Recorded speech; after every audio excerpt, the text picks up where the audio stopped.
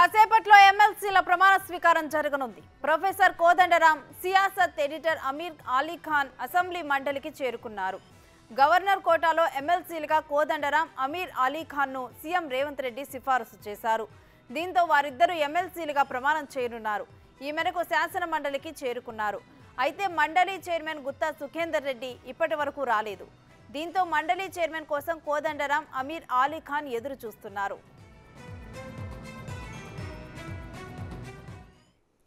ఇక ఇదే అంశానికి సంబంధించి మరింత సమాచారం మా ప్రతినిధి వెంకట్ అందిస్తారు.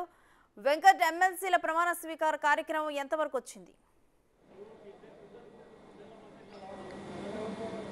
రేణుశ్రీ గవర్నర్ కోటలో ఎంపికైనటువంటి ఎమ్మెల్సీల అంశం ఇప్పుడు రెండు పార్టీల మధ్య హాట్ హాట్గా కొనసాగుతుంది. ఒకవైపు బీఆర్ఎస్ ఇటు కాంగ్రెస్ మధ్యలో ఇదే టాపిక్ పైన గత కొన్ని రోజుల నుంచి కూడా హాట్ హాట్గా కామెంట్స్ కూడా వస్తున్నటువంటి సందర్భం చూస్తున్నాం. ఇవాళ తాజాగా గవర్నర్ కోట కింద ఎమ్మెల్సీలుగా ఎంపికైనటువంటి ప్రొఫెసర్ కోదండరాం జనసమితి అధ్యక్షుడిగా ఉన్నారు. అట్లనే అమీర్ అలీ ఖాన్ వీళ్ళిద్దరు కూడా ఇవాళ మండలికి వచ్చారు. ప్రమాణ స్వీకారం చేసేందుకు వచ్చినటువంటి పరిస్థితి ఉంది. దాంతోపాటు అటు అధికార ప్రతినిధులైనటువంటి మహేష్ కుమార్ గౌడ్ బల్మూరి వెంకట్ కూడా ఇక్కడికి చేరుకున్నటువంటి సిచ్యువేషన్ ఉదయం దాదాపు రెండు గంటల నర నుంచి కూడా ఇద్దరు కూడా ఇక్కడ మండలిలో వెయిట్ చేస్తున్నటువంటి పరిస్థితి.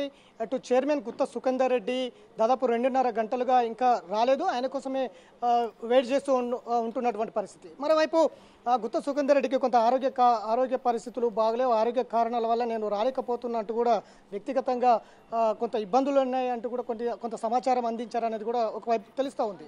మొత్తం మీద మరోవైపు కేసీఆర్ కావాలనే గుత్త సుఖేందర్ రెడ్డిని చైర్మన్ మండలికి పంపించడం లేదు. ఆయన వల్లే గుత్త సుఖేందర్ రెడ్డి చే- మండలికి రావడం లేదు ప్రమాణ స్వీకారానికి అంగీకరించట్లేదు.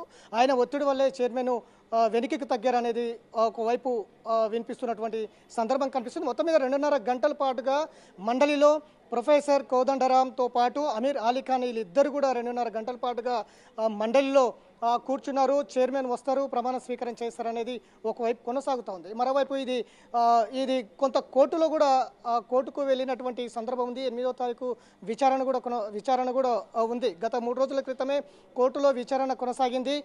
చీఫ్ జస్టిస్ అలోక్ ఆరాధే నేతృత్వంలో నేతృత్వంలో విచారణ కొనసాగింది.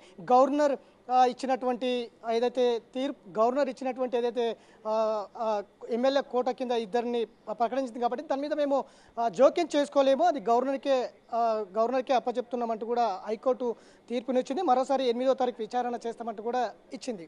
గతంలో బీఆర్ఎస్ ప్రభుత్వంలో ఉన్నప్పుడు గత సంవత్సరం ఇద్దరిని ఎంపిక చేసింది గవర్నర్ బీఆర్ఎస్ ప్రభుత్వం గవర్నర్ కోట కింద.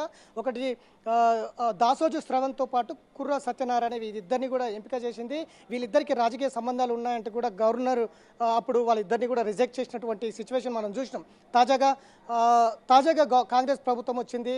ప్రభుత్వం వచ్చిన తర్వాత రెండు ఎమ్మెల్సీలని ఫిలప్ చేయాలి కాబట్టి ఇప్పుడు తాజాగా వీళ్ళిద్దరిని ఇటు ప్రొఫెసర్ కోదండరామ్ని ఇటు ఇటు అమీర్ అలీ ఖాన్ ఇద్దరిని కూడా ఎంపిక చేసింది కాంగ్రెస్ ప్రభుత్వం. ఆ ఇద్దరి కాంగ్రెస్ ప్రతిపాదించినటువంటి ఇద్దరు పేర్లని గవర్నర్ ఎంపిక సుఖేందర్ రెడ్డి ఎంత టైంలో అసెంబ్లీ మండలికి చేరుకునే అవకాశం ఉంది?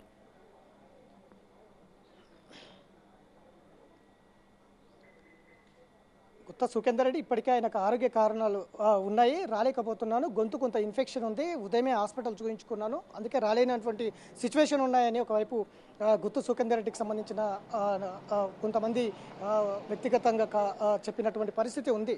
ఆయన వస్తారా రారా అనేది సస్పెన్షన్గా కొనసాగుతూ ఉంది. ఇక రెండున్నర గంటల నుంచి అయితే ఇటు ప్రొఫెసర్ కోదండరాము అటు అమీర్ అలీ ఖాన్ ఇద్దరు కూడా రెండున్నర గంటల సేపు ఇక్కడే వెయిట్ చేస్తున్నారు.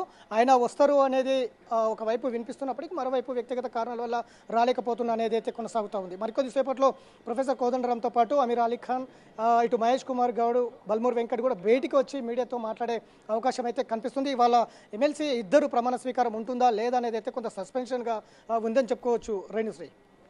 Right thank you Venkat